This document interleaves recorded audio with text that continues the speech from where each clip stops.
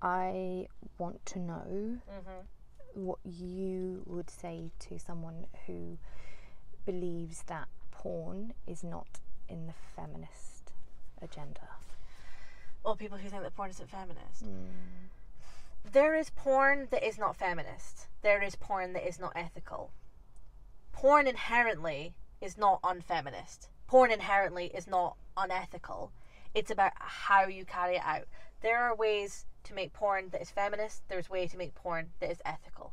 If you look at the front page of Pornhub, yes, you're going to think women are being viewed as objects. But the clips are taken out of context. You could have a one hour film and it opens and there's a pre scene interview with the performer being and she's like I have this fantasy that I've had forever and just the thought of um and it's just so hot. I love the thought of being like and just like being like as a submissive. I can totally take this clip out of context. Just I want to be a. I mean, it also works out of context. um,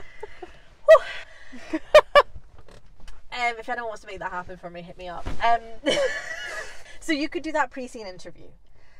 Then you have the scene of um of the of the and you put a, then you have the behind the scenes clips rolling at the end of like her laughing because her hair's got caught Yeah. and a guy be like shit sorry I got that in your eye and her laughing and being like it's fine of them sitting down and chatting beforehand like okay what discussing the scene. you know, yeah. oh I get really tickly here so I'm gonna laugh if you touch me there or Yeah. like if you're gonna put something in my ass give me like a warning pinky first so I'm ready for it and stuff and then like oh, and then like the repositioning of like checking in with each other. You have the post-it interview of her being like god that was everything i hoped. Like i thought that i would feel more you know humiliated but it actually felt really empowering to have my desires filled. If you just pull that middle bit out of context of just being like you Yeah. of course you're going to be like this is not ethical. This is not feminist. This woman is being treated like an object.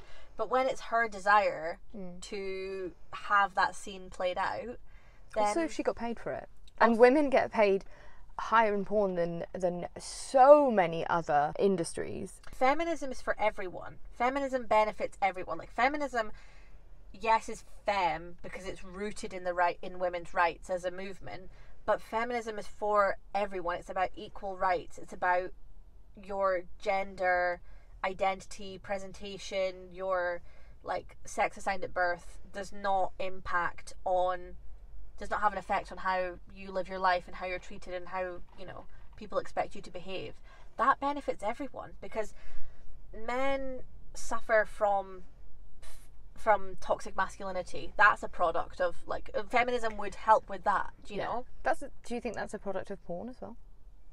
toxic masculinity Hmm. I think it predates that i mean the patriarchy in itself just breeds toxic masculinity does porn have a pre-date period? Surely there's there's always been porn.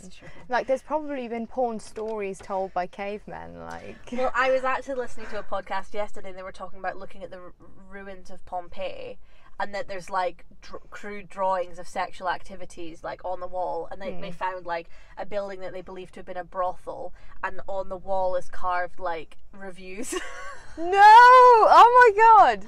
and it's like too fast, or like pick Brenda or whatever. yeah, exactly.